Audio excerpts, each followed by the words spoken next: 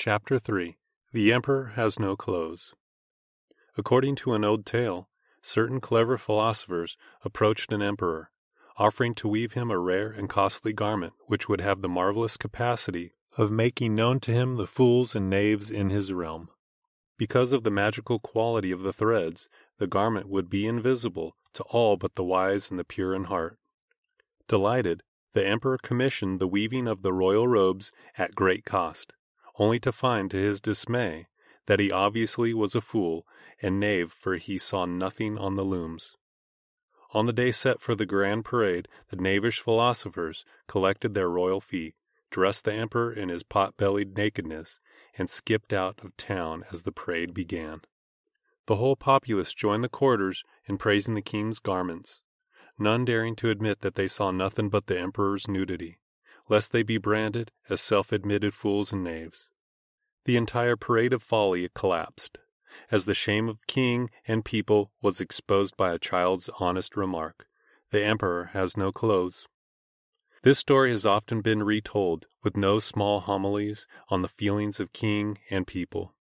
But significantly, the boy has been neglected, as truth usually is. Consider the future of that boy. With one small truth he exposed a national and personal lie. With a grain of truth he turned a people's glory into shame. It is no wonder nothing is said of him. The knavish philosophers got off scot free, and rich as well. Emperor and people went on with their everyday activities, eating, drinking, marrying, and giving in marriage. But the small boy was too old age and outcast. He had told the truth and shamed his race. Not only the king's nakedness, but that of his people, even of his father and mother, had been exposed to the public gaze by his truth.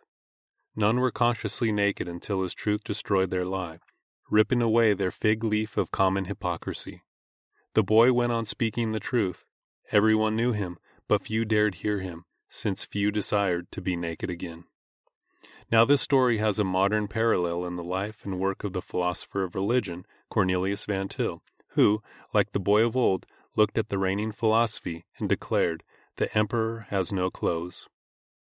Of perhaps no other contemporary thinker can it be said that he is both as well known as little read as Van Til. The reaction of reviewers and readers to the publication of his New Modernism, an appraisal of the theology of Barth and Brunner, in 1946, was in an occasion of outraged shock, and horror one of such dimensions as to make significant reading from this short distance. The book was an unspeakable offense, an outrage, a desecration of all philosophy and theology. The ostensibly orthodox Calvin Forum, a few years later, in discussing Van Til's philosophy, did so with such intemperate heat and language that its death was precipitated. Here, apparently, was an Ishmael, whose hand was raised against every man. Or was it not the reverse, with every man's hand raised against Van Til? Why the reason for all this passion? What is it in his thinking that militates all contemporary theologies and philosophies against him? To understand this, we must first of all look again at the Bible itself, rather than to the Graf Wellhausen recension of it. According to that document, the temptation of man was to be as God, knowing good and evil. Genesis chapter 3 verse 5. That is, man was to be his own God, determining what constitutes good and evil according to the dictates of his own nature. To this temptation man submitted, and in terms of this concept man lives. Here, then, is the origin of the concept of autonomous man, who is the point of departure in philosophy, whose thinking is creative, and whose reason has the right of judicial review over all of creation and its creator. Here too is the point of origin of most theology and philosophy, in man the knower, the determiner of categories of thought, who tolerates God only if all notions of antecedent being are first of all dispensed with. This autonomous man will tolerate God only if direct revelation is eliminated, if the simple identification of Scripture with the Word of God is dropped, and God's relation to man made paradoxical or dialectical. Thus, it is not God who is known directly, but man's own consciousness. It is not God who speaks simply, but again man's own reason. God is either eliminated from the scene or allowed to coexist with autonomous man on man's own terms. Let us return again to the naked emperor and his hypocritical courtiers and populace. When the honest lad's remark was made, that emperor was exposed in all his bulgy and bloated nakedness, and his worshipping followers revealed as fools and knaves. Thus everyone's pride was hurt, and everyone's shame exposed. The animosity of all was directed therefore against the lad. But a direct attack was impossible. It would be too revelatory of their knavery. As a result, the cult hangers on insisted that they agreed with the lad's emphasis on truth but rejected his methodology. We are as much concerned with seeing the nature of reality as this young man, they insisted, but we cannot tolerate this radical and disgraceful methodology. Much more would have been accomplished if instead of saying, the emperor has no clothes, he had said, the emperor has no overcoat, and had even offered to provide him one. This would have established common ground between them instead of destroying it. The boy, it was agreed, was an extremist who had destroyed his case and eliminated any standing ground by making it clear that the emperor had in fact forsaken clothing instead of politely remarking that the emperor had some clothes. This has been the charge leveled also against Van Til. His philosophy leaves nothing to the consistent natural man. The religious hangers on of autonomous man and his philosophy are insistent that their emperor will be allowed all but his overcoat that natural man be allowed valid knowledge of everything except God and matters pertaining to revelation. Fundamental to this assumption is the belief in an area of neutral facts which are equally available to God and man and derive their meaning from themselves. This belief, destructive of all thinking, remains common to most religious philosophy, although it has been attacked from various sources of late, with differing emphasis. Alan Richardson, for example, has written that the illusion of objective or uninterrupted history is finally swept away. The facts of history cannot be disentangled from the principles of interpretation by which alone they can be presented to us as history, that is, as a coherent and connected series or order of events. Christian faith supplies the necessary principle of interpretation by which the facts of the biblical and Christian history can be rationally seen and understood. Facts and interpretation are inseparable. The neo orthodox and existentialist answer to this problem is to eliminate the old subjective objective relationship and its static conception of objective being and to replace it with the divine human encounter, with the transcendental philosophy of pure act. Neither facts nor God have any meaning in themselves, but only in terms of this interaction. Man's experience of this encounter is the final point of reference in all interpretation. But, according to Van Til, in the Christian view of things, it is the self contained God who is the final point of reference. For the Christian, facts are what they are, in the last analysis, by virtue of the place they take in the plan of God.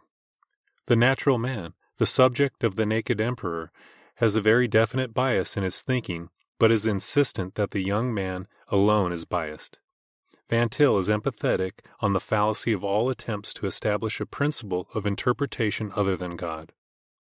If, after the fashion of Thomas Aquinas and Bishop Butler, we establish a neutral principle of coherence or rationality, or like Clark and Carnell, enthrone the law of contradiction, two major concessions are involved.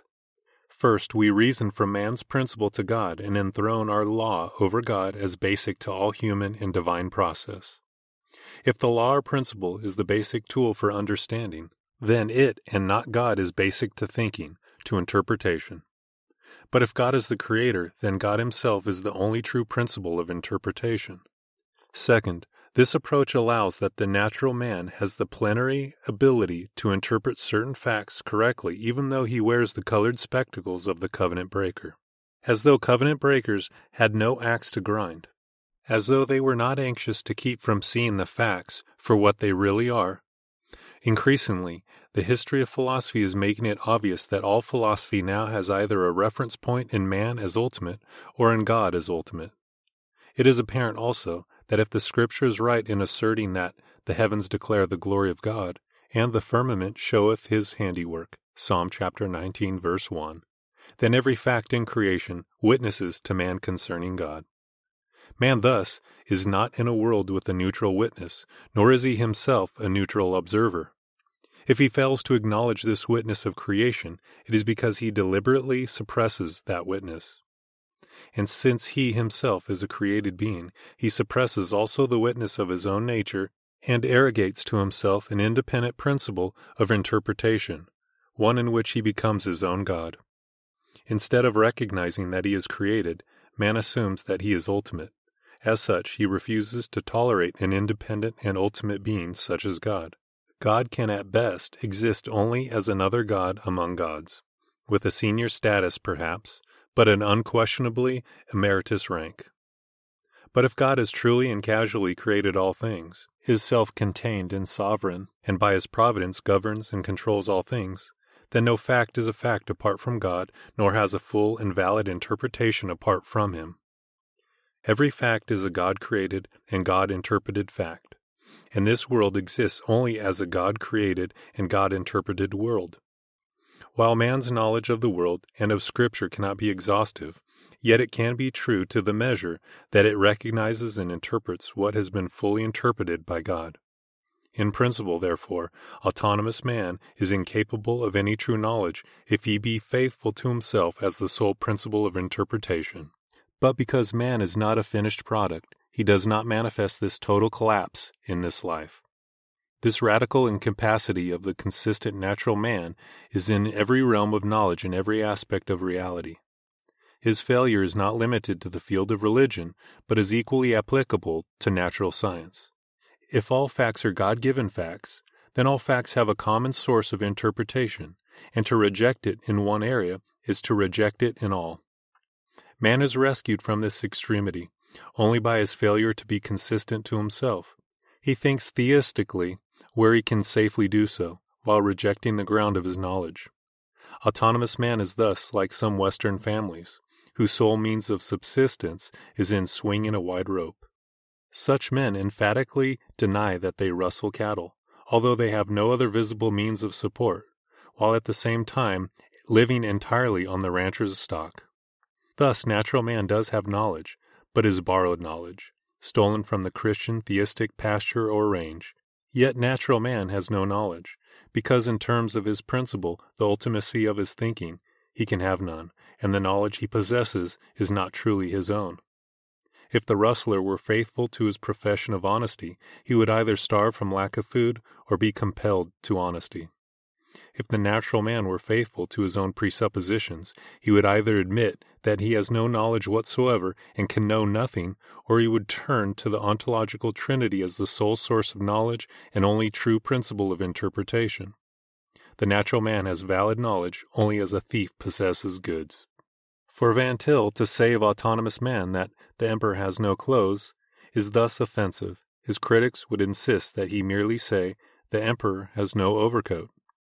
In other words, in abandoning the self contained God, autonomous man has merely discarded a heavy overcoat but is still fully clothed, and, in terms of summer weather, properly dressed.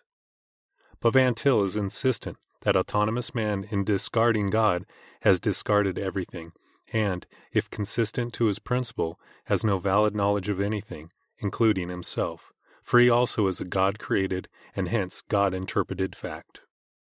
The emperor and his followers became involved in their disgraceful predicament precisely because they refused to know themselves. By virtue of the fall, men are sinners before God, a fact they are unwilling to acknowledge. The knavish philosopher weavers exploited this wilful blindness on the part of the emperor and people, and hence led them to rob themselves and to parade into shame. And this is Van Til's challenge to them to face the fact that they are nothing more than sinning creatures living in a God created world, explicable only on God's terms and his interpretation. The champions of autonomous man accuse Van Til of using a faulty methodology to establish a truth they ostensibly welcome with him when in actuality the question of methodology is an invasion of the basic truth, namely, the nakedness of autonomous man and his refusal to acknowledge his nakedness. The emperor had no clothes, but did not dare admit it. As he paraded down the street, he felt the sun on his bare back and the light breeze on his naked shanks, and he knew that he was fully exposed, whatever the sycophants said concerning his magnificent robes. In like fashion, the natural man knows his nakedness.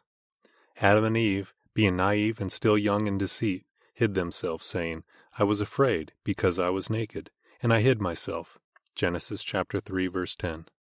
Their descendants, more hardened in revolt, are not so honest. They parade openly, claiming to be dressed with the very garment of God, with royal garb, emperor's clothes. They do so by a metaphysics of correlativity between God and man, as Van Til has pointed out in his analysis of Reinhold Niebuhr. They begin with an anti metaphysical bias. They cannot tolerate nor are interested in God in himself, in the ontological trinity. Man and God are alike involved in history. God is not above and beyond it as the sovereign creator. To give God this sovereign status reduces Christian faith to metaphysical truths instead of an existential relationship in which the individual finds true particularity and true universality in himself and becomes his own principle of interpretation. Man and God are both involved in the universe, which is the ultimate reality. Man's original sin is not an ethical act, but a metaphysical fact, created by the time eternity finite, infinite antithesis and tension.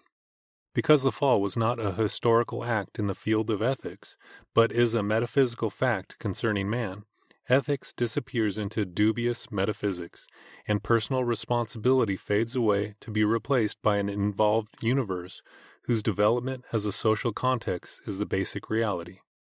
Thus, history becomes the primary concern, rather than God, or human responsibility. Man's role in this picture is more clearly stated by Barth, concerning whom Van Til writes. Fieser is no doubt formally correct when he says that according to Barth, we must start with God's revelation in Christ. God is for Barth identical with his revelation to himself in Christ. The God and the man of Barth become what they are because of their common relation to Christ. They become what they are in Christ. They are what they are because of a common Geschichte. Man participates in the history of Christ. He exists to the extent that he participates in this history, and this history is the history of redemption. Man exists to the extent that he participates in Christ's redemptive work for all and every man. Man exists to the extent that he is the co redemptor with Christ of mankind. Not God in himself, but God in his relationship is the emphasis, and God is exhaustive in his relationship and man always participates in the life and history of God, as well as in his being. As a result, the nakedness of man is covered with garments stolen from God. But the God whom man creates thus to clothe himself is not the God of Scripture, nor a God who has being in himself. He is only an existential relationship. As Brunner has stated it in the philosophy of religion, for our knowledge, the absolute is no more, though also no less, than a necessary limiting conception. God is not a self existent God. But when God ceases to be God, man also ceases to be man. Without a self existent God, from whence we derive meaning and the principle of interpretation, man finds himself naked. His borrowed clothes are as non existent as his God of dialectics. His only reality becomes a meaningless universe of brute factuality. The one philosopher who faced more or less frankly the nakedness of the natural man was Nietzsche, who dispensed entirely with the attempt to borrow from God. As a result, he faced nihilism. Every attempt to give meaning became purely his own truth and had no meaning apart from himself. Believing God dead, he destroyed in turn every meaning he himself attempted to establish, recognizing that no God means no meaning, not even life. His insanity was the outcome of his philosophy. The antithesis was between cosmic meaning and completely personal meaning, between Christ, the principle of divine interpretation, and Antichrist, the negation of meaning, between Dionysius, the affirmation of self as meaning against all meaning, and the crucified, the interpreter and of the word. The choice is clear cut no God, no man. No God, no meaning. The natural man is naked in himself, and his borrowed and stolen garments cannot bear investigation. He has nothing in and of himself. He insists, however, that he is clothed, and that he himself is the principle of interpretation, that nothing can be allowed, that is not in principle penetrable to the human mind. This idea of the essential penetrability to the human mind of any reality that we are to admit as having determinative significance for our lives implies that we, as human beings, are to be our own ultimate judges. This is the position of modern idealism, which, like neo orthodoxy, has a finite God who, like man, faces brute facts, the ultimately mysterious universe. Man and God are in the same predicament. They alike struggle to understand and deal with the reality. God is only a principle of rationality within the universe. But if the facts which face man are already interpreted by God, man need not and cannot face them as brute facts. If the facts which man faces are really God interpreted facts, man's interpretation will have to be, in the last analysis, a reinterpretation of God's interpretation. Contemporary philosophy follows the lead of Kant, who ascribed ultimate definitory power to the mind of man. Christianity, on the other hand, ascribes ultimate definitory power to the mind of God. What Eddington ascribes to man, the power of exhaustive dialectification of significant reality, Christianity ascribes to God. Van Til's purpose thus is to drive home the basic issue and to make both Christian and non Christian aware of their presuppositions, and to make them epistemologically self conscious, to make them aware of how they know and what they know. Men are either covenant keepers or covenant breakers, either interpreting creation in terms of its meaning as established by the Creator or attempting a false interpretation, with filched odds and ends of material. No valid epistemology or theory of knowledge can begin elsewhere than with the ontological trinity, the absolute person, the concrete universal, the source of all meaning and interpretation. For Van Til, apologetics has a central importance and a renewed one, in that the non Christian and inconsistently Christian systems and philosophies are exposed and corrected in terms of their nakedness. Thus, Van Til's writings constitute a devastating and running attack on all contemporary systems in terms of his basic philosophy. For Van Til, philosophy and history, universals and facts, are correlated in an important manner. Without God, there is no factuality or meaning. Before the facts can be approached, there must be the concrete universal, the ontological trinity. In other words, only theistic facts are possible. We definitely maintain that for any fact to be a fact at all, it must be a theistic fact. Van Til's approach is opposed to both the deductive and inductive methods. The deductive method begins with the ultimacy of certain axioms, not with God. The inductive method assumes that any kind of fact exists rather than theistic facts. Van Til's approach is neither inductive or deductive, a priori or a posteriori, as these terms are historically understood, because they contemplate man's activity in the universe, but do not figure with the significance of God above the universe.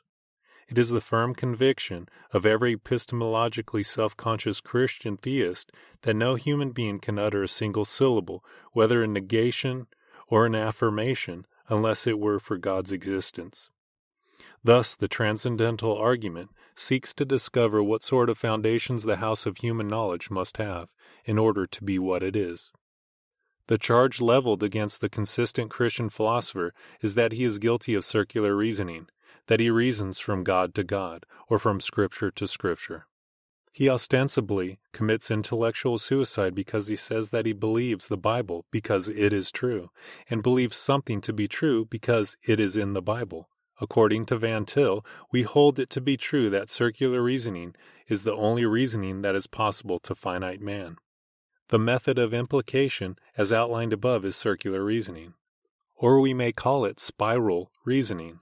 We must go round and round a thing to see more of its dimensions and to know more about it, in general, unless we are larger than that which we are investigating. Unless we are larger than God, we cannot reason about him by any other way than by a transcendental or circular argument. The refusal to admit the necessity of circular reasoning is itself an evident token of antitheism. Reasoning is a vicious circle is the only alternative to reasoning in a circle. All reasoning is either from God to God given and God interpreted facts, or from man to man made interpretations of brute factuality.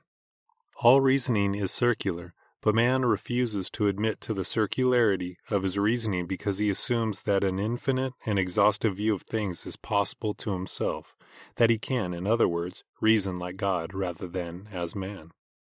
Van Til's analysis of the history of philosophy are significant in their development of the epistemological presuppositions of the various schools.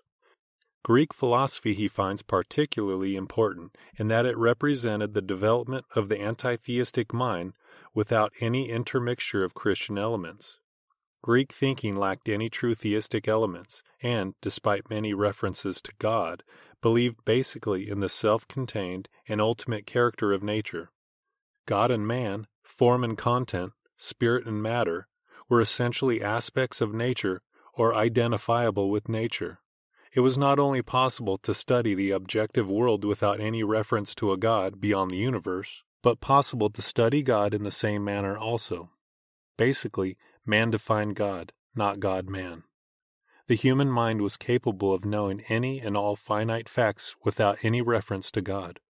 The universe was ultimate, and the mind, in a sense, ultimate as part of that universe. Greek speculation assumed, first, that all things are at bottom one. Second, the world of becoming is ultimate, whereas for Christian thought, being is before becoming and independent of becoming. Third, for the Greek thought, not only is change taken for granted as ultimate, but the many generated from the one is always identical with the one. Greek thought, moreover, assumed the possibility of neutrality, whereas for Van Til the existence of an absolute God, from whom every creature has derived existence and to whom all are responsible, rules out all possibility of neutrality. The Greek mind is the end result of Eve's course. Before Eve could listen to the tempter, she had to take for granted that the devil was perhaps a person who knew as much about reality as God knew about it. That is, Eve was obliged to postulate an ultimate epistemological pluralism before she could even proceed to consider the proposition made to her by the devil. Or otherwise expressed, Eve was compelled to assume the equal ultimacy of the mind of God, the devil, and herself. And this, surely, excludes the exclusive ultimacy of God. This, therefore, was a denial of God's absoluteness epistemologically. Thus, neutrality was based upon negation. Or we may as well say that neutrality is negation. In connection with this, we may remark in passing that when Eve listened to the tempter, she not only had to posit an original epistemological pluralism, but also an original metaphysical pluralism. She had to take for granted that a time created being could reasonably consider herself to be sufficiently ultimate in her being as to warrant an action that was contrary to the will of an eternal being. That is, she had to equalize time and eternity not only, but she had to put time above eternity. It was in time that Satan told her the issue was to be settled. He said that it still remained to be seen whether God's threats would come true. The experimental method was to be employed. Only time could tell. Now, this attitude implied that God was no more than a finite God. If he were thought of as absolute, it would be worse than folly for a creature of time to try out the interpretation of God in the test tube of time. If he were thought of as eternal, such an undertaking was doomed to failure, because in that case history could be nothing but the expression of God's will. Greek epistemology was Eve's thinking hardened into certainty. In Greek thinking, as in Plato's, for example, time and eternity are very nearly identified, though at first they seem to be radically opposed to one another. Time is the moving image of eternity. The temporal and eternal are alike aspects of one general reality. Man is the temporal appearance of the eternal. As such, mankind, and not the second person of the Trinity, Jesus Christ, is the mediator and interpreter. Time and eternity, moreover, are intermixed in mankind, whereas in Christ the two natures are without intermixture. For Platonism, philosophy ends in final mystery, whereas in Christianity the absolutely self conscious God knows no mystery. Plato's final mystery comes close to destroying all knowledge. Plato tried unsuccessfully with Heraclitus to find a basis for knowledge in the sense world alone. He tried unsuccessfully with Parmenides to find knowledge in the ideal world alone. Because for Greek thought reality was at bottom one and the entire universe ultimate, differentiation became virtually impossible. The idea of the good seemed to give a fundamental and underlying unity to knowledge, but since all other ideas, including ideas of mud, hair, filth, ideas of evil, were equally ultimate and unchangeable, it posed a problem. A fundamental unity was assumed, but a fundamental diversity appeared. And if evil is as ultimate as good, there is then no underlying and controlling unity in the world of ideas. Thus, no victory for any idea was possible, and the only answer could be the compromise of all ideas and the smoothing away of the significance of each. Moreover, it was not certain how these ideas could even be known. How could the whole of any idea be known in any sense object? But if the idea of the good were thus cut up, it could no longer furnish the unity that was indispensable for knowledge. In other words, the doctrine of idea left the problem of the one and the many, and therefore that of creation unsolved. If the ideal world was itself an ultimate plurality, it could be of no service in an attempt to explain the plurality of the world we live in. The piecemeal apprehension of ideas meant the end of knowledge, also in an infinite regression. Nor could Plato escape this problem by making ideas subjective, to be no more than our own thoughts, in which case knowledge would be reduced to illusion. Moreover, reality would then escape us, since most of reality would lie beyond the scope of man's knowledge and perception. Greek thought, as Van Til points out, was incapable of accounting for the fact of knowledge, and, by its philosophy, tended to dissolve all knowledge into a common and meaningless reality. It could give no account of the world of experience, but only tended to destroy it. The epistemology of Eve and her Greek sons, beginning with the equal ultimacy of God, the devil, and man, ends with the equal irrelevancy and meaninglessness of all things. Every approach of Plato ended in failure. When he approached the problem of knowledge with an exclusively empirical, then with an exclusively metempirical, and finally with a union of the two methods, he failed to solve the dilemma. The three fundamental assumptions of Greek philosophy could not be overcome.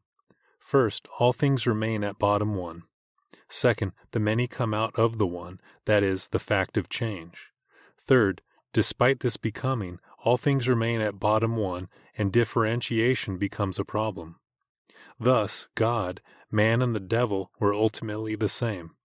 The human and divine mind differ quantitatively rather than substantially. In Augustine, the first principles of Greek thought were clearly and definitely rejected, according to Van Til, who regards Augustine as a Christian theistic philosopher with certain elements of Platonism in his thinking, but basically sound in the direction of his thought. For Augustine, the physical universe existed only as a creation of God. In his final outlook, Augustine never separated his self existence from God's existence. The universe is never the presupposition or basic reality for him. It is a creation of the absolute God. Accordingly, Augustine did not attempt to interpret reality in terms of ideas, but in terms of ontological trinity, which furnish the basis of the principles of unity and diversity in human knowledge. Without the Trinity, knowledge is impossible. Here is plurality in unity, and only means of escaping the dilemma of human knowledge, which resolves itself, on anti-theistic grounds, into either an ultimate plurality without unity or the possibility of knowledge, or an ultimate unity without differentiation or meaning. In the triune God is the solution to this problem. But because human knowledge is analogical rather than original or creative, it must always depend on divine knowledge. Anything that a human being knows must first have been known to God. Anything a human being knows, he knows only if he knows and because he knows God. For that reason, too, man can never know anything as well and as exhaustively as God knows it. The fact that man's knowledge must always remain analogical is applicable to his knowledge of God as well as his knowledge of the universe. God will never be understood in his essence by man. If he were, he could no longer be God. In that case, there would be no solution for the problem of knowledge. This concept or doctrine of the Trinity is the heart of Augustine's final epistemology and is a radical disagreement with Greek thought. Plato, in assuming the ultimacy of the universe, could not escape the plurality of the world of the senses, because time and eternity were equally ultimate, and the ideas and the senses likewise. Moreover, for Augustine, because true knowledge is analogical and involves thinking God's thoughts after him, no one can have true intellectual knowledge of God unless he first has faith and accordingly is morally in tune with God. And since for Augustine the principle of evil was finite and that of good infinite, the unity of God's plan could not be broken and the categories of eternity are determinative for human thought. In scholastic philosophy, the Aristotelian form of Greek thought triumphed finally over Augustinianism. The God of the scholastics resembled closely the indifferentiated reality of the Greeks. This reality, analyzed into substance, structure, and act, was called Father, Son, and Holy Ghost, but bore scant resemblance to the ontological trinity of Augustine and Scripture. The Greek concept of the gradation of reality prevailed increasingly, and as a result, for scholasticism, salvation meant advancement on the scale of being. Evil, sin is metaphysical, not primarily ethical, and is low on the scale of being, is far away, removed from the center, thin in its participation in reality or being. Atonement, in terms of this implied doing good, moralism, whereby one participated in the good and rose on the scale of being. Because of this pagan element in scholasticism, universals were a major problem.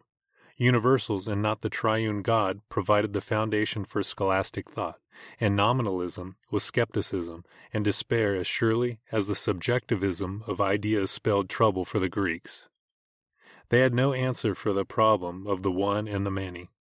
Again, there was no escape from the dilemma of ultimately undifferentiated and meaningless being as against an ultimate and unrelated pluralism. Scholasticism dealt with this problem by undercutting the Augustinian distinction between God and man with the Greek concept of being. Scholasticism thus sought to establish knowledge on a basis wherein no mystery existed for man, while mystery remained for God, whereas the theist mystery exists for man but not for God. And since history is determined by God, and time by eternity, it is not destructive of knowledge and meaning for mystery to exist for man. By setting up his own mind as the standard of truth, man destroys the possibility of truth. As Van Til has summarized it, all the antinomies of human thought, such as the relation of time and eternity, the one and the many, unity and diversity, are involved in the problem of the universals. There are only two possible attitudes that can be taken to these antinomies. One can say that it is the business of the human mind to solve these antinomies, and that unless it succeeds in doing so, there is no valid knowledge for man. Or one can say that since man is finite, it is clearly not the business of man to seek to solve these antinomies, and that they must be solved in God or man's thought would be meaningless altogether. We may even go farther and say that antitheistic thought has artificially created these antinomies. If a man would say to himself that unless he can successfully climb the city hall, he does not see how he can walk the street, we try to point him to the fact that the two accomplishments are not mutually dependent upon one another. Thus also it may not be necessary for man to be able to solve these antinomies of thought before he can have adequate knowledge for his life. We hold then that the scholastics made the same mistake as the Greeks. They took for granted that words must be used either simply univocally or simply equivocally. They took for granted that every predicate used must apply to God in the same way that applies to man, or there can be no meaning in any predication at all. Although the scholastics made reference to God in relation to the universals, nevertheless, their solution was basically pagan.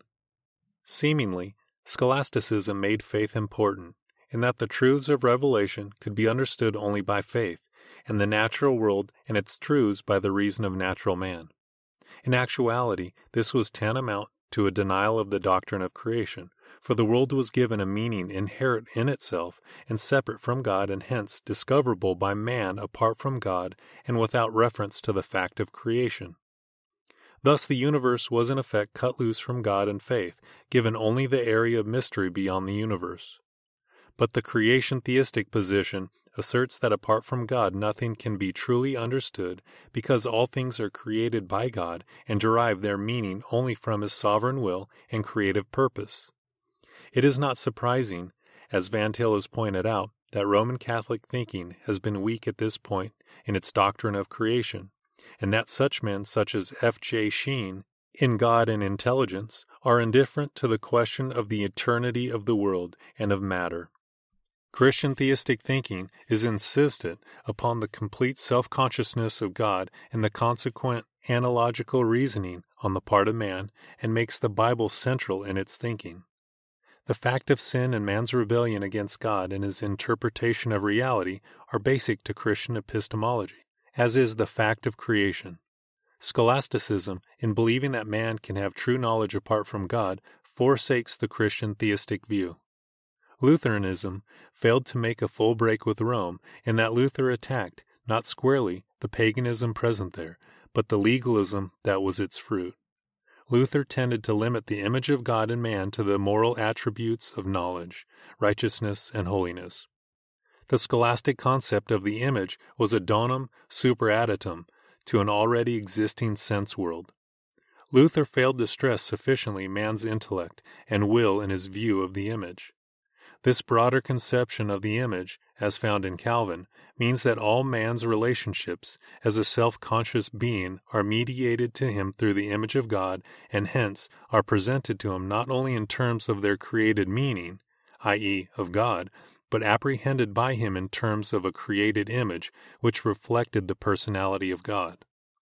To limit the scope of the image of God in man is to introduce impersonalism to the extent that we limit that image. As a result, Luther's early teaching on predestination, seemingly similar to Calvin's, differs from it by virtue of his impersonalism, which leads him to the fringes of philosophical determinism and a mechanical relationship between God and man. In like fashion, the means of grace, the Word, and the sacraments tend to work impersonally and to an extent mechanically, whereas no impersonalism between God and man can exist in a Christian theistic epistemology. This led to the synergism of Melanchthon. Synergism takes for granted that there can be no truly personal relation between God and man unless the absoluteness of God be denied in proportion that the freedom of man is maintained. Synergism assumed that an act of man cannot be truly personal unless such an act be unpersonal. By that we mean that according to synergism, a personal act of man cannot at the same time, but in a different sense, be a personal act of God. Synergism assumes that either man or God acts personally at a certain time and at a certain place, but that they cannot act personally simultaneously at the same point of contact. In other words, synergism holds that personal activity on the part of man must always be at the expense of the personal character of that which surrounds him. Now, this might seem to be an innocent matter as far as the universe around us is concerned. Yet the danger is very great, since the depersonalization involved does not limit itself to the material universe. It extends itself logically to God and even if it does not at once and clearly oppose the personal activity of God, it remains a fact that there is always a tendency in synergism to hold onto some of the remnants of the Greek idea of a universe, in some sense of the term, independent of God. If nowhere else, the synergist at least extracts his own activity from the personal activity of God at some point of time. And just to that extent, he has depersonalized God the significance of Luther's conception of the image of God now begins to appear. The epistemological effect of it was that man's knowledge is once more made to depend in some measure upon something other than the personality and self consciousness of God. There are elements of Platonic rationalism in Lutheranism. The specter of an independent sense world looms upon the horizon once more. Lutheranism has not learned to interpret all reality in exclusively eternal categories.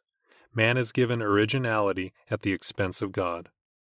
According to Van Til, evidence of this weakness in Lutheranism is further seen in the Lutheran conception of the person of Christ. The two natures of Christ are seen as blending entirely, and both natures as present in the elements of the Lord's Supper. According to Krauth, to say that the nature of Christ is personally present without his humanity is to deny that his humanity is part of his personality, and the doctrine of the Incarnation falls to the dust. The orthodox formula of Chalcedon is thus virtually rejected, as is its declaration, directed against the Eutychian heresy of a single nature, which asserted the two natures without confusion, without conversion or change. The Lutheran position leads to the assertion that the human can become the divine, that the eternal and the temporal can intermingle, that the two can have an independent or co equal existence, that the eternal can be temporalized, and that the eternal is not determinative of the temporal. Scholasticism saw the weakness of man, not in his sin, but in his finitude, not in ethics, but in metaphysics. And Lutheranism at times tends to this same position. The Christian theistic view is that unity and diversity, the one and the many, exist in equal ultimacy in the ontological trinity. The anti theistic view denies this and seeks the ultimacy of the one and many in the universe. When scholasticism thus debated the question of universals, it had virtually abandoned the theistic view and sought its answer within the framework of the universe. Lutheranism is seeking to some extent its principle of unity in intermingling of the eternal and temporal, set forth in dramatic fashion in its concept of the Lord's Supper, is refusing to accept the determinative character of the eternal and insisting that man's freedom is endangered if the temporal is not fused into the eternal. Such a view tends to deny reality to anything in eternity which does not at the same time exist in time whereas the consistency theistic view holds that the only solution to time lies in eternity. The natural outcome of this intermingling is an insistence on the independence of man, because time is determinative of both the temporal and the eternal. The incarnate Christ becomes determinative of not only the second person of the Godhead, but the Trinity as a whole, because he works in time and the Trinity in eternity. God must therefore limit himself out of respect for his creatures. He cannot infringe on their independence, because time is the arena of ultimate reality, not eternity. Accordingly, the sinner determines his own salvation. God's grace starts or assists him to that end. It cannot determine him without destroying the meaning of time and its centrality. To grant the sinner this capability has far reaching implications, as Van Til discerningly points out. If one maintains that he can approach Christ of his own accord, even though he is a sinner, he may as well say that he can approach the Father too. And if one can say that he knows that the fact of sin means without the enlightenment of the Holy Spirit, he may as well say that he can know other facts without reference to God. In fact, he may as well say that he can know any and every fact without reference to God. If one fact can be known without reference to God, there is no good reason to hold that not all facts can be known without reference to God.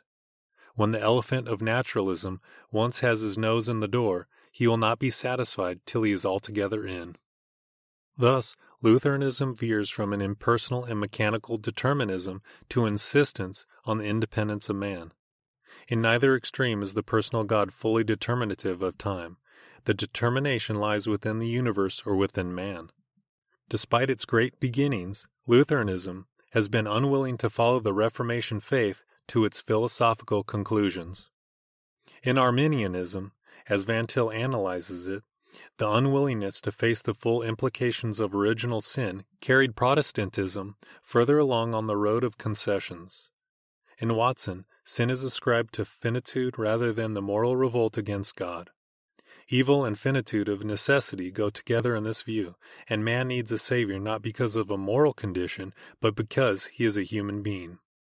In other words, the implication is that man needs to be delivered not so much from sin as from creaturehood, from his finitude to infinitude. Moreover, from the Arminian point of view, man's rationality and freedom involve and include his ability to change the history God has planned or to do things God has not planned. In short, man's life is outside the plan of God, constitutes a fact beyond God's control, one to which God can offer assistance but cannot govern. We are here on the road to the modern philosophic point of view, which sees the space time continuum as the matrix of all reality. God exists and is in the picture, but increasingly as a spectator on the sidelines, ready to cheer man on, but unable to determine the course and outcome of the race. Arminianism allows God and Christ onto the scene only to start the race, remove certain obstacles, and to award a prize. The final determination of events belongs to man.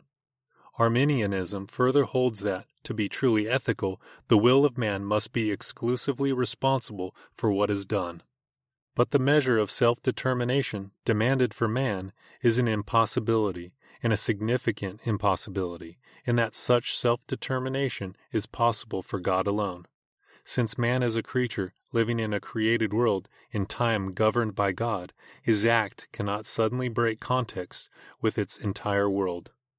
The act of a creature in a created world and in created time can be only a created act.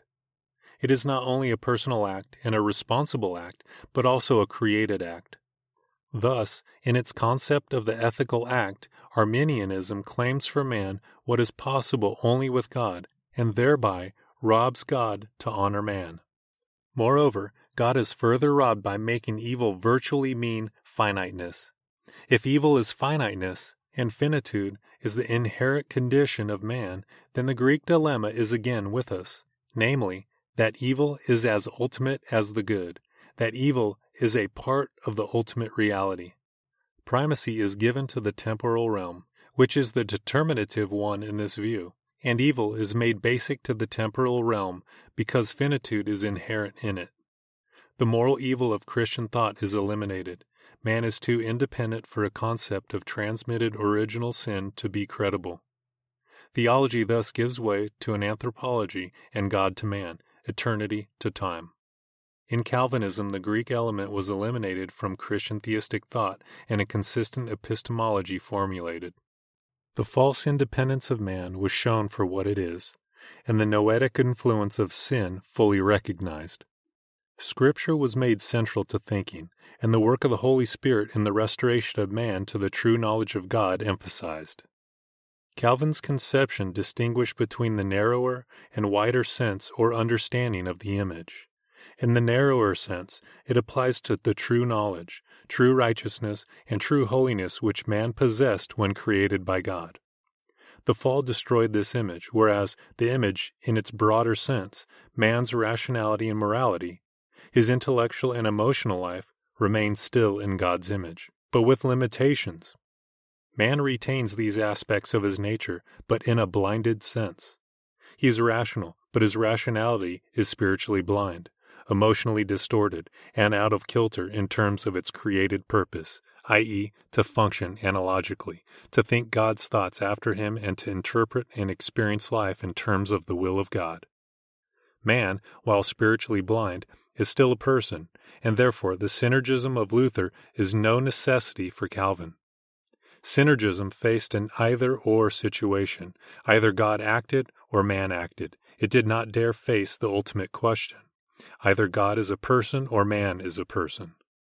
For Calvin, man is a personality because God is a person. The sinner, a created person, cannot know God aright unless new light is given him by the Scripture, and the power of sight restored by the Holy Spirit working in his heart. Salvation is not the eternalization of man, but rather his restoration to his original perfection and a development thereof. The incarnation is therefore not made necessary by man's finitude, but by his sin. Since man's finitude is not the problem, Christ's human nature in the Lutheran sense is not needed in the sacrament. The eternal order is the determinative one, and God saves man in time, not because of time. God saves man through the incarnation, by means of the appearance of the second person of the Trinity in history and his incarnation, whereby human nature was united without intermingling with the divine nature. The incarnation was the means of salvation, but the cause of salvation was to be found only in the foreordained and predestined eternal counsel of God, only in the ontological Trinity. To emphasize the incarnation, and especially the human nature of Christ, as against the ontological Trinity, is to insist on mixing the temporal and eternal and shifting the area of reality away from the eternal and from God. As Van Til has stated it, it is upon the development of these teachings of Calvin that we must depend for a consistent Christian epistemology. Calvin did not mix the categories of the temporal and eternal. He did not succumb to the temptation of giving man a false independence in the work of salvation. Hence he alone of all the reformers could rid himself of the last remnants of Platonic reasoning. Two significant aspects of Calvin's theology point up the nature of his Christian theistic thinking. These are his doctrine of covenant theology and the Trinity. In Calvinism, there is no subordinationism in the doctrine of the Trinity. The persons of the Trinity are representationally exhaustive to one another and represent the solution, on the eternal level, of the one and many principle. Because the persons of the Trinity have an equal ultimacy, the principles of unity and diversity have an equal ultimacy. As Van Til analyzes it, this mutual exhaustion of the person of the Trinity places one before the choice of interpreting reality in exclusively temporal categories or in exclusively eternal categories. The demand of the doctrine of the Trinity, when thus conceived, is that reality be interpreted in exclusively eternal categories, inasmuch as the source of diversity lies in the Trinity itself, and could never be found in a sense world beyond God. Hence the problem of the one and the many, of the universal and the particular, of being and becoming, of analytical and synthetic reasoning, of the a priori and the a posteriori must be solved by an exclusive reference to the Trinity. The only alternative to this is to assume responsibility for trying to explain the whole of reality in temporal terms. Thus, man is placed before a clear alternative, and there is no longer a temptation to attempt a solution of these problems by seeking intermixtures of the temporal and eternal. On this concept of the Trinity, Calvin established his covenant theology. Since the persons of the Trinity are representationally exhaustive of one another, it follows that human thinking is representational also. Since God is the creator and determiner of all things, and since all persons, things, and acts are created facts, truly understandable only in terms of the ontological Trinity, it follows, therefore, that in every fact and in any fact man is face to face with God. Nothing exists in a neutral or impersonal world. All things exist in a created world in which every fact is surrounded by the personality of God. Even the meeting of one finite personality with another finite personality would not be truly personal if there were an impersonal atmosphere surrounding either or both of these personalities. What makes their meeting completely personal is the fact that personality of each and of both is surrounded by the personality of God.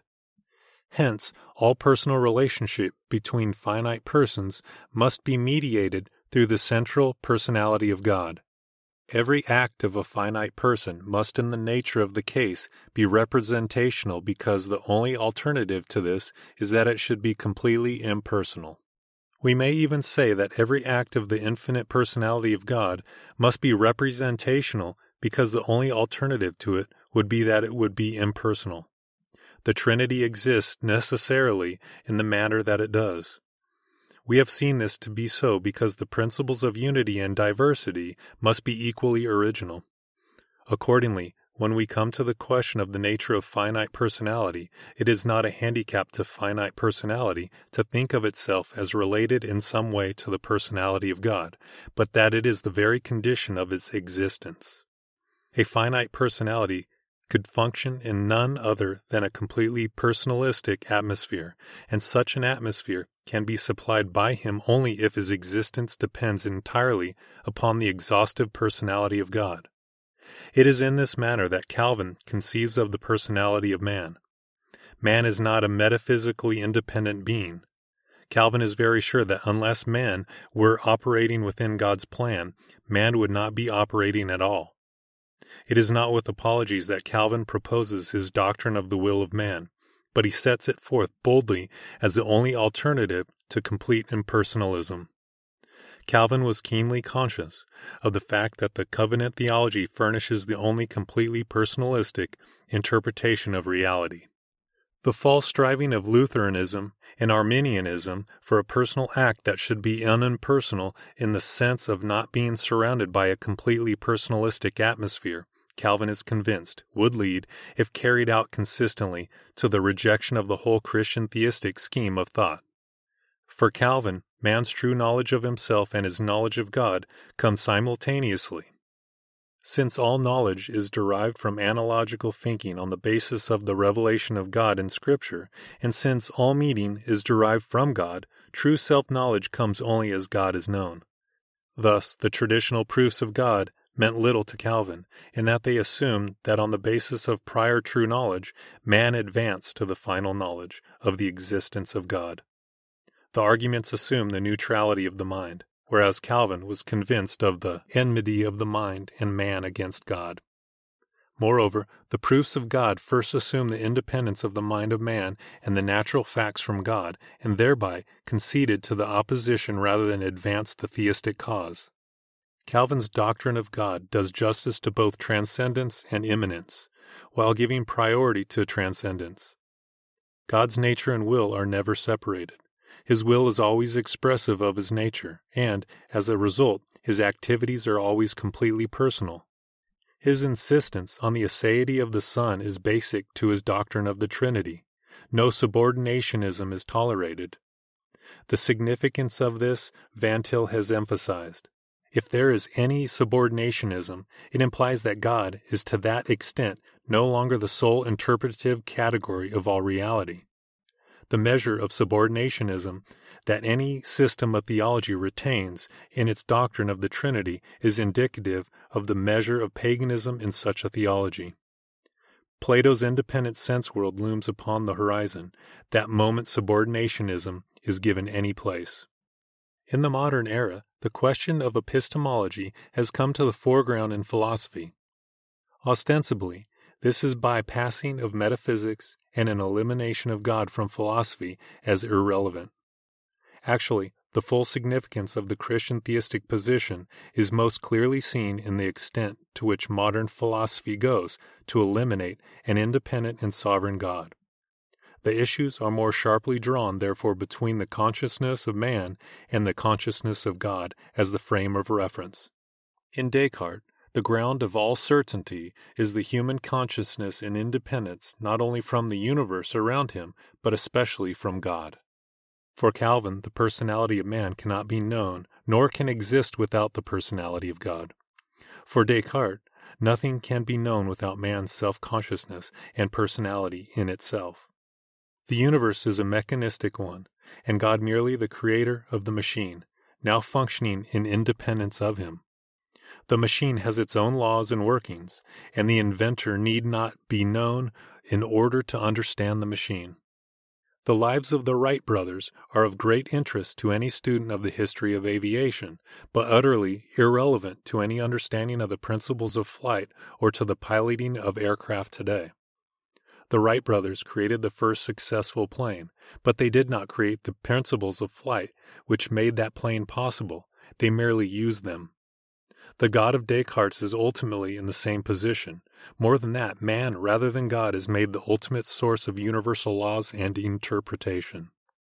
As a result of Descartes' point of departure, two lines of thought developed in philosophy empiricism and rationalism.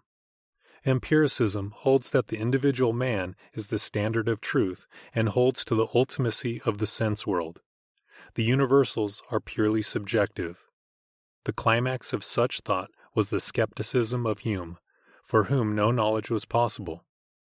Rationalism sought to interpret reality in terms of certain a priori principles. These a priori principles, however, were not anchored in the ontological trinity or in eternity, but in the human mind as ultimate.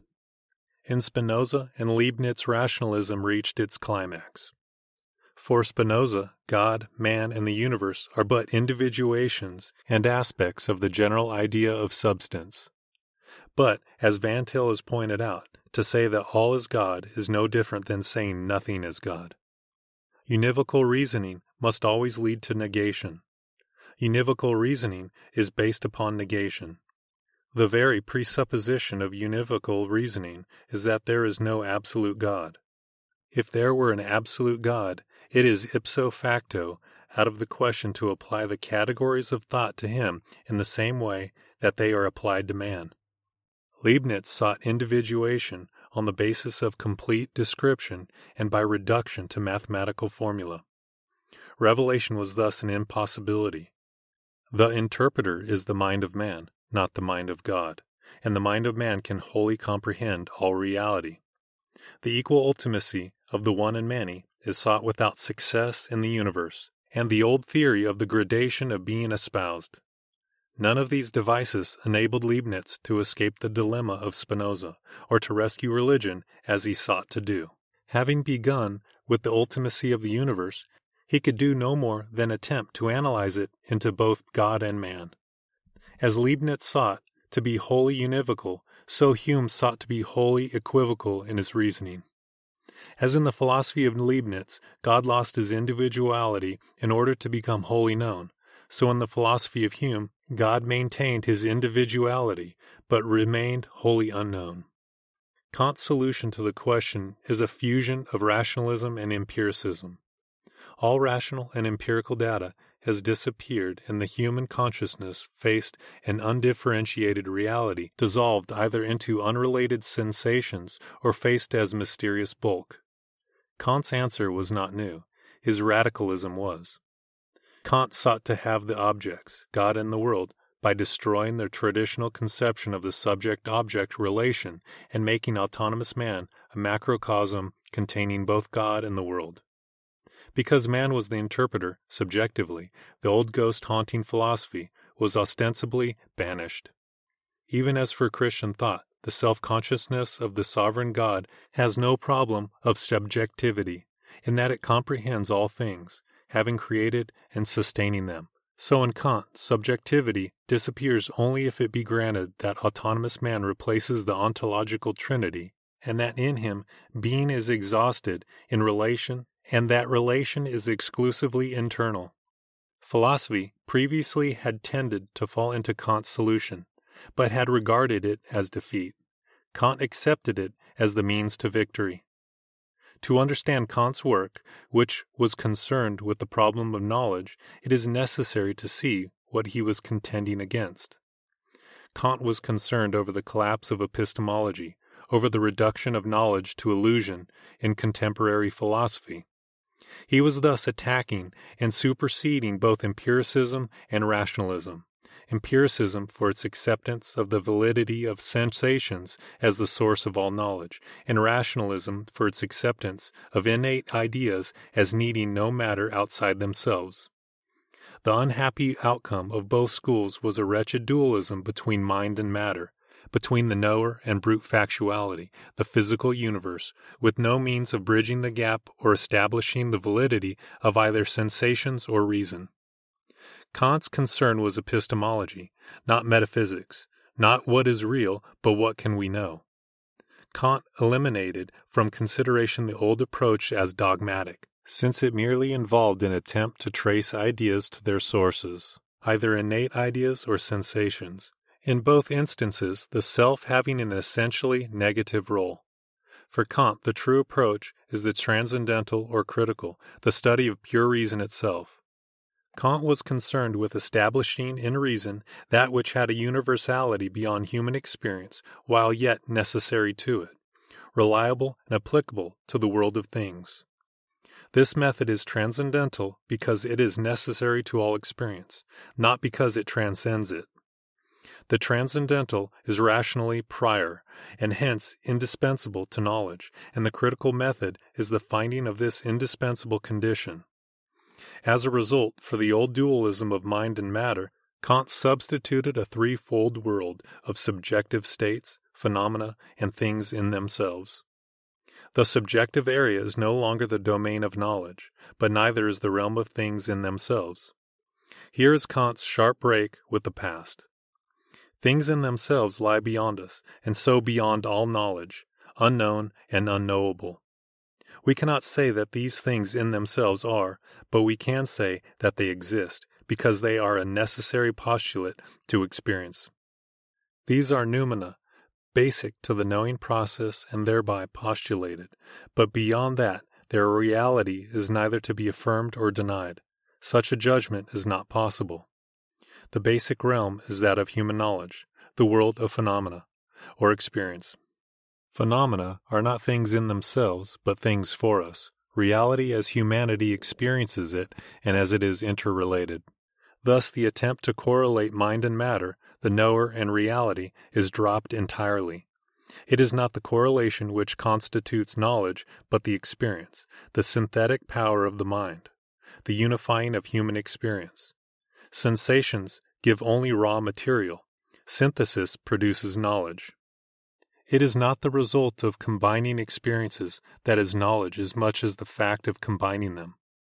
Thus, knowledge is constitutive, creative, interpretive, and the common ability of all humanity.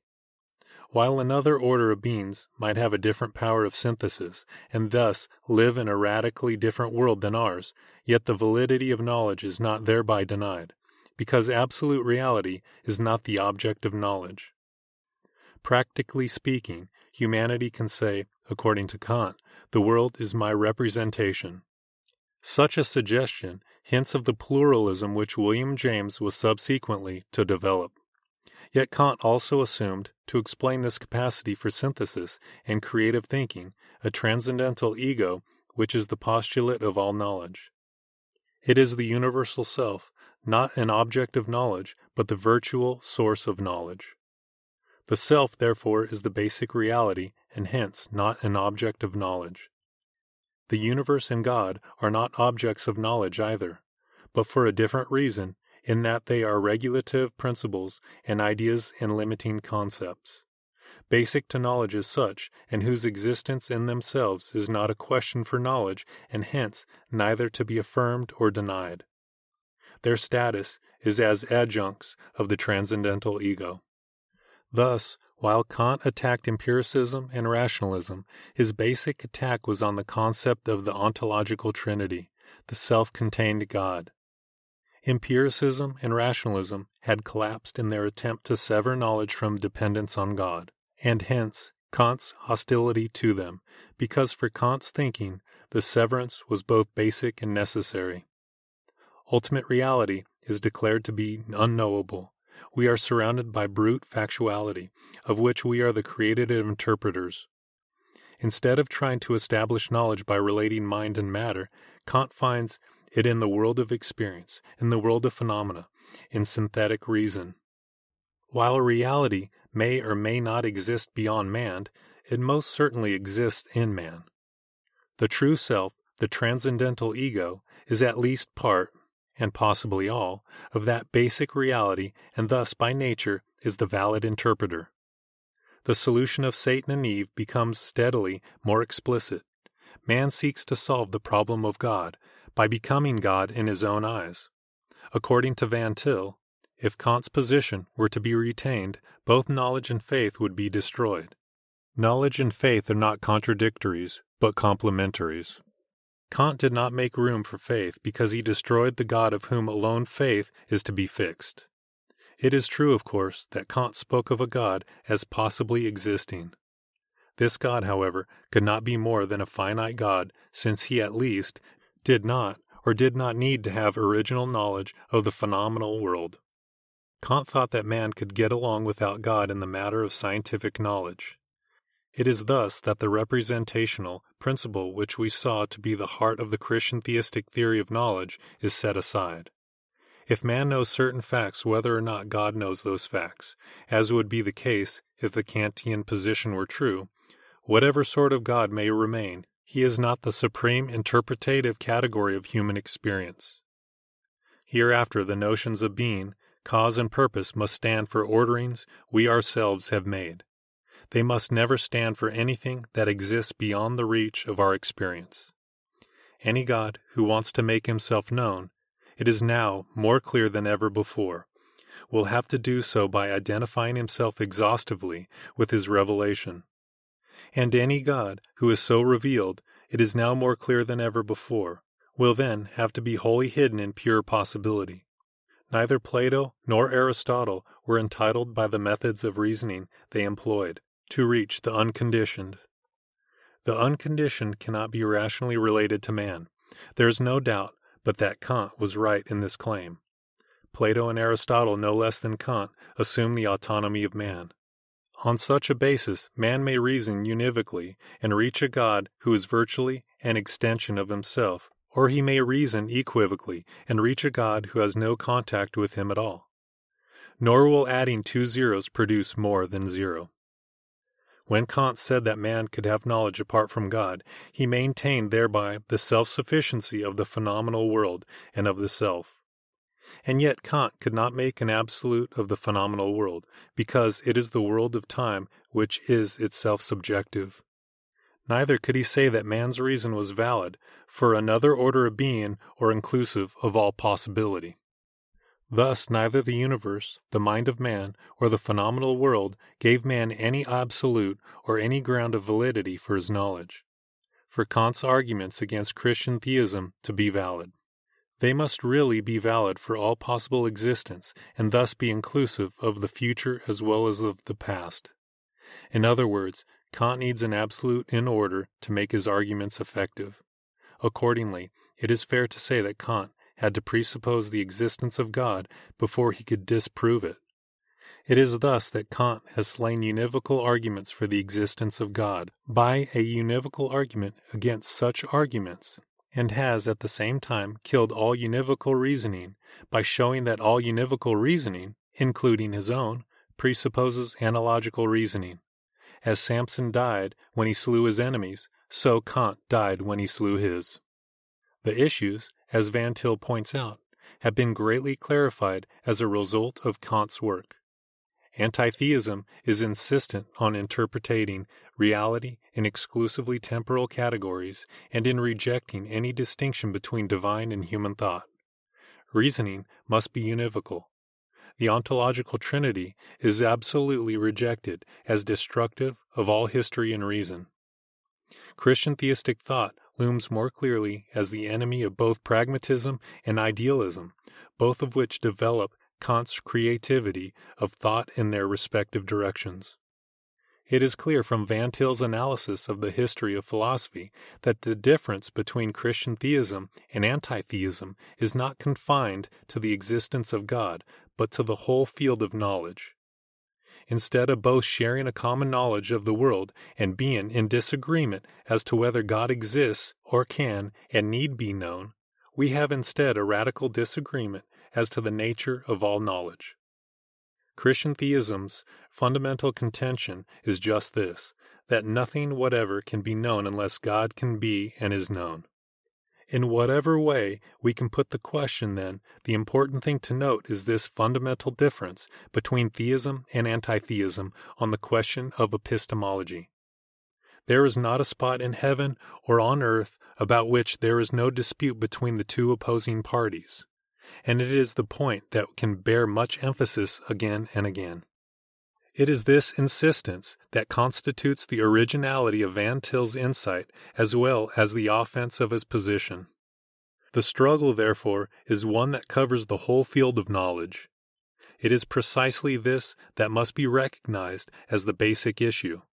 It is the Christian theistic conception that nothing can be truly known unless God can be and is known and this discrepancy and disagreement between the contending philosophies is apparent as we consider the question of the object of knowledge. The object of knowledge is anything that is considered a fact, and here again the difference is obvious. What is a fact? Facts can belong to the physical world, to the realm of psychology, economics, mathematics, and so on. But what is a fact? Each philosophy differs as to what constitutes a fact the conception of the physical world and the facts thereof vary radically in Augustine, Spinoza, Hume, and Kant. The facts vary from philosophy to philosophy. They are precisely the point of difference, in that each begins with certain basic assumptions and presuppositions. What our opponents mean by the existence of any fact is existence apart from God. That they mean just this is indisputable for the reason that such existence apart from God is ipso facto predicated for all fact except the fact of God, if the fact of God is called to question. For anyone to call the existence of God in question, he must at least exist and possibly exist apart from God. It appears, then, that the very connotation of the term existence is in question. The anti-theist maintains that the term existence may be applied as a predicate to any fact, even if the fact of God's existence is not a fact. On the other hand, the theist maintains that the term existence cannot be applied intelligently to any fact unless the fact of God's existence is a fact. In other words, the anti-theist assumes that we can begin by reasoning univocally, while the theist maintains that we cannot begin otherwise than by reasoning analogically. The denotation and connotation of any fact cannot be separated.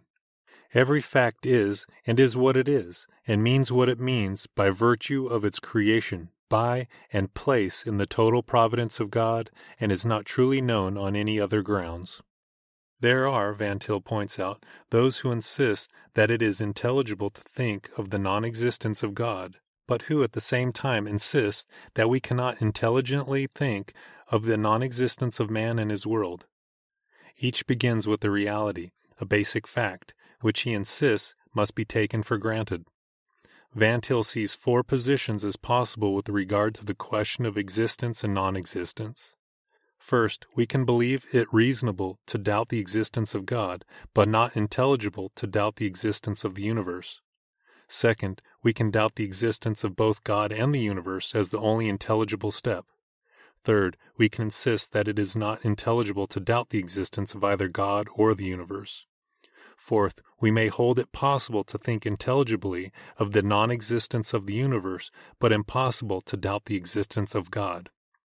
Of these four positions, only the last is consistent with theism, not because Christianity denies the existence of the universe, but because it cannot consider the universe as the ultimate reality and therefore the ground of all thought. Without God, nothing can exist, and therefore God alone is the starting point of all intelligible thinking. A person's conception of what constitutes a fact is thus governed by his starting point. It is here necessary to distinguish with Van Til between the immediate and the ultimate starting point. He explains it by the analogy of a diving board. A diver standing on the tip of a board and seeing nothing around him but water can state that the end of the board is his starting point in an immediate sense. But in an ultimate sense, the foundation of the whole board is his starting point, and he cannot eliminate from his recognition of his situation all except the tip and the water. As Van Til insists, the question at issue in philosophy is not that of the immediate starting point. All agree that the immediate starting point must be that of our everyday experience and the facts that are most close at hand. But the exact charge we are making against so many idealists, as well as pragmatists, is that they are taking for granted certain temporal facts, not only as a temporary, but as an ultimate starting point. Similarly, the Bible is not to be used as a source book in biology or to replace a paleontological study in Africa. The Bible does not claim to offer a rival theory that may or may not be true. It claims to have the truth about all facts. It is not claimed that one should go to the Bible instead of to Africa. What is claimed is that without the God of the Bible and the revelation therein given no fact can be truly known, nor can its existence be even posited. The opponents of Christian theism insist on taking for granted that specifically which they need to and cannot prove, the independence and ultimacy of the mind and of brute factuality. Moreover, all facts owe not only their existence, but their denotation and connotation to God, and every fact exists and must be known, if it is truly known, as a Christian theistic fact. Without the light of Scripture, no fact can be truly known. Not only facts, but all nature and history exist in terms of eternal categories. Christian thinkers like Augustine and especially Calvin have been ready to take the human self as the proximate starting point while anti theistic philosophy takes the self as the ultimate starting point. this latter emphasis has become more consistently pronounced. Moreover, modern philosophy is less concerned with the object of knowledge than with the subject of knowledge, and the self is assumed to be the ultimate subject of knowledge. But the very challenge of Christian theistic philosophy is that God is the ultimate subject of knowledge. Man is and can be a subject of knowledge in a derived sense because God is the subject of knowledge in an absolute sense. Theologically expressed, we say that man's knowledge is true because man has been created in the image of God. And for this reason, too, there can be no dispute about the relative priority of the intellect and the feeling of man. Since the personality of God is a complete unity, so also the personality of man is a unity. The charge against all anti theistic thought is that it is subjective, in that it sets up human thought or consciousness as the ultimate standard of truth. Because its concept of truth is derived from the mind or from experience, modern philosophy leads inevitably to a complete relativism in epistemology and metaphysics. At times it frankly forsakes the quest for truth and certainty, but it never candidly admits that the logical alternative is total relativism. In liberal theology, the same relativism is latent or explicit, and what passes for theology is little more than anthropology, and experience is emphasized as against truth or as the essence of truth. The sources of liberal and neo Orthodox theology are to be found in three main schools of philosophy first in pragmatism, which assumes the subjective validity of all religion irrespective of its object. Next are the naturalists, who emphasize logic rather than time and reduce whatever God may be tolerated to a logical universal binding together equally ultimate particulars.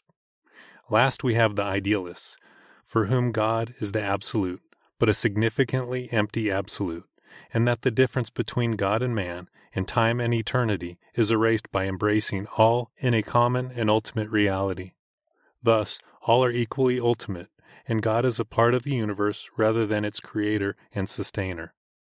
God and man are alike aspects of reality. Therefore, God at best can function as an associate or elder brother, assisting man in interpretation of a reality he did not create and must himself struggle to understand. God becomes a logical necessity rather than creator. Man is a necessary to God, as God to man, as witness the philosophy of Pringle Pattison. By a constant insistence on the correlativity of time and eternity and God and man, idealism tries to gain for man and time a status in terms of ultimate reality. All are alike embraced in a common and ultimate reality.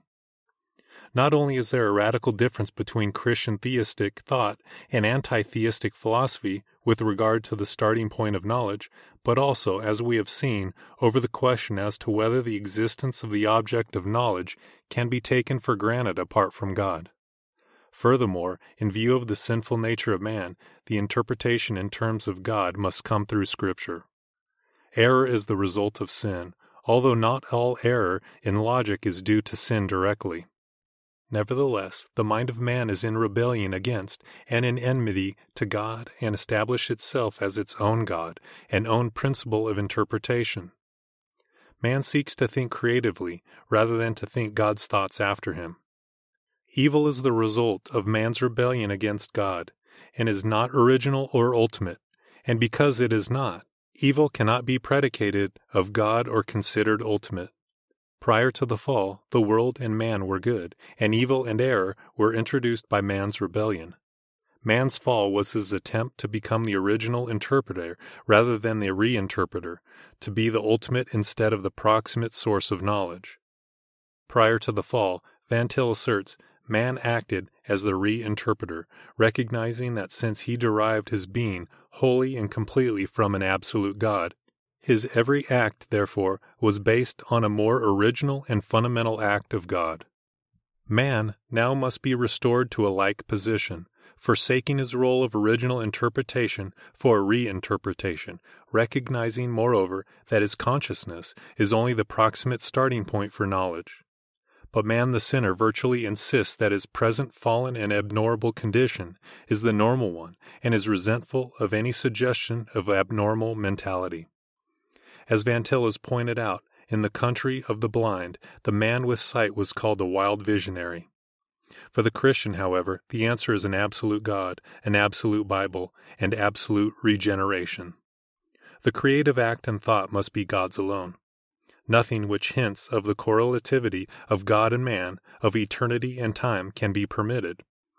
By such correlativity, idealism seeks to rehabilitate history, but in making historical reality exist in independence of God, it destroys the sovereignty of God and the meaning of history.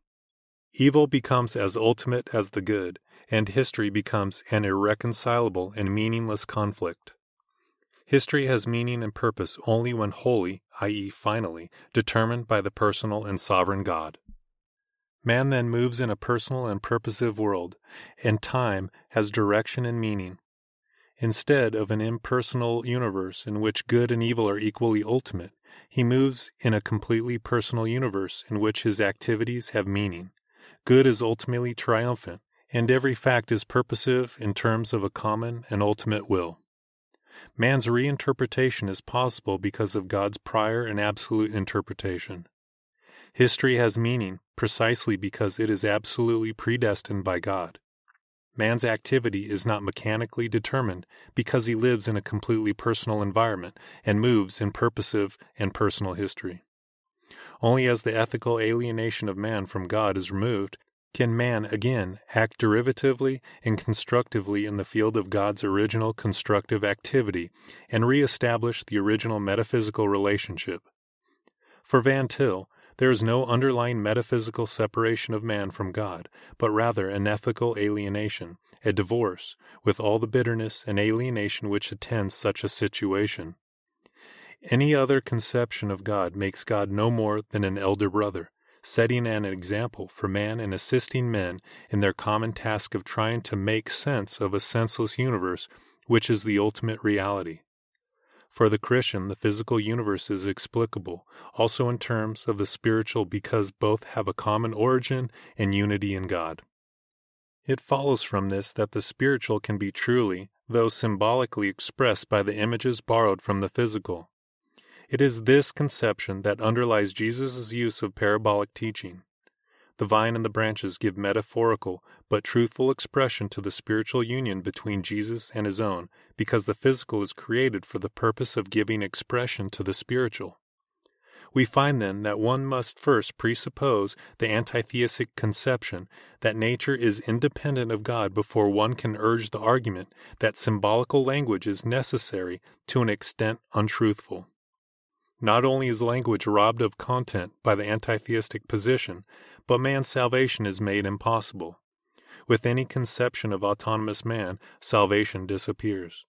Man is not subject to the covenant and to federal representation in Christ, and hence the atonement can have no meaning for man, who becomes isolated in his autonomy and a world of brute factuality.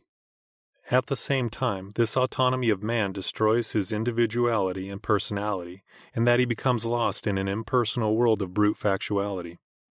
Reality being ultimately an undifferentiated mass, and equally good and evil, humanity also is ultimately an undifferentiated mass, and mass man becomes a problem. In considering the subject subject relationship, the usual question is whether, under the Christian view, it is any use for the Christian theist to reason with his opponents or to seek their understanding of the Christian view of things. Since regeneration is required, of what value is philosophy? To answer this, we must again consider the problem of knowledge. All objects of knowledge in time and space have been created by God. To be truly known must be known in relation to God. As Van Til asserts, the universals of knowledge as well as the objects of knowledge have their source in God, and their relationships are in terms of the plan of God. The anti-theist, however, not only begins with the facts or objects of knowledge as ultimate, but also regards the universals as ultimate, and neither has anything to do with God. No reference beyond the facts and universals is needed. If God exists, therefore, he can only be another fact, another object of knowledge, rather than the one supreme object of knowledge, the ultimate fact and the ultimate universal. With such a discrepancy between the two views, it is not surprising that each considers the other blind. But, Van Til states, the subject subject relationship is not a problem if the subjects are Christian or if they are unregenerate. The clash comes between the two opposing groups. To answer this, Van Til feels that it must be noted first that the normal state of man is that his whole consciousness, intellect, will, or emotion was created to be completely reinterpretative. Second, the revelation of God, manifested everywhere in a wholly personal universe, comes to the whole consciousness of man. Since God is absolute, man is always accessible to him and can never escape his witness and truth. Man's alienation from God is ethical, it cannot alter his metaphysical dependence on God. Because man is thus wholly accessible to God and resides in and is part of a completely personal universe, it then follows that all creation is instrumental in terms of the divine plan, and our philosophy is also instrumental. The Christian can effectively attack every ground the anti-theist stands on, because the anti-theist is constantly on alien and hostile ground. When he sets up his reason as judge and appeals to the law of contradiction, he contradicts himself, in that his universe is one of chance and abstract possibility, and reason and the law of contradiction are thereby rendered invalid. When a Christian thinker like Carnell declares, Bring on your revelation, let them make peace with the law of contradiction and the facts of history, and they will deserve a rational man's assent.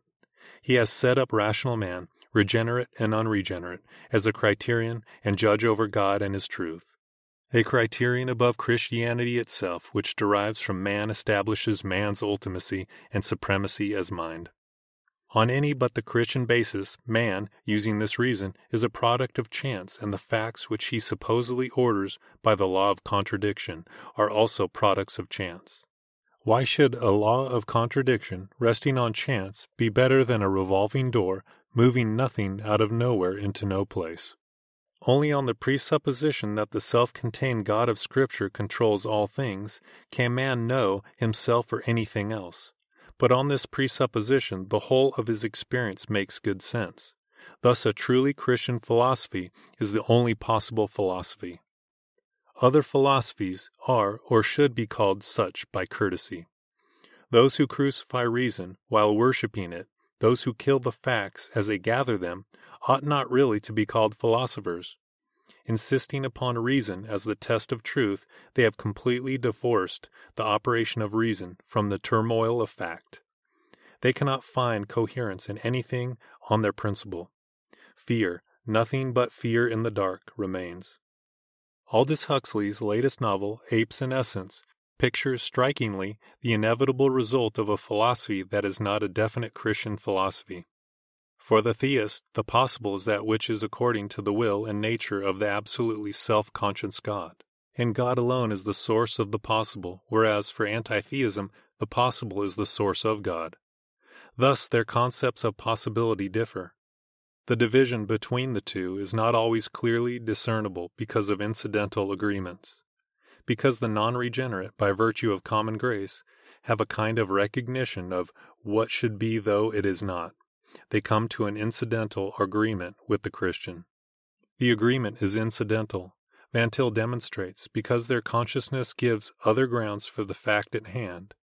As Van Til has pointed out, the pragmatist agrees with the Christian in opposing murder, but for pragmatic and humanistic reasons, whereas for the Christian the real reason is a concept of justice, which has its foundation in the nature of the sovereign God.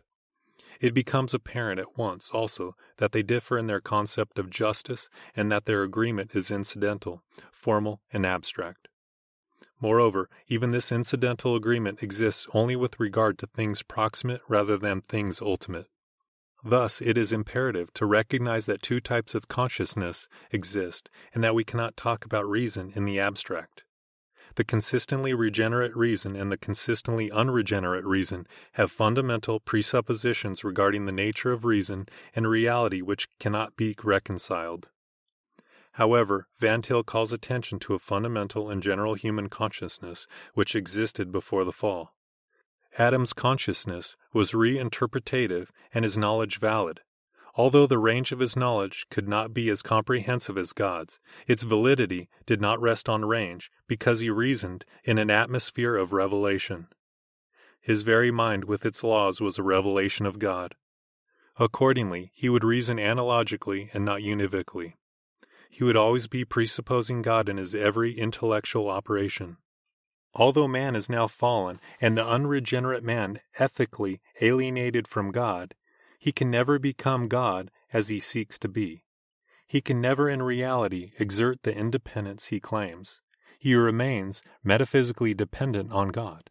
As a result, his consciousness, even in rebellion, cannot sever itself from God, but retains a formal power of receptivity. Moreover, the ethical alienation is not yet complete in degree. As a result, the Christian can speak to the unregenerate. For Van Til, metaphysically, only one type of consciousness exists, one in dependence upon God. Ethically, two types of consciousness exist. On the basis of the one fundamental metaphysical consciousness, the subject subject relationship is possible and effective. The unregenerate must be told that the Christian theist has the true conception of the law of contradiction, i.e., only that is self contradictory which is contradictory to the conception of the absolute self consciousness of God. If there were in the Trinity such a self contradiction, there would also be in the matter of God's relation to the world.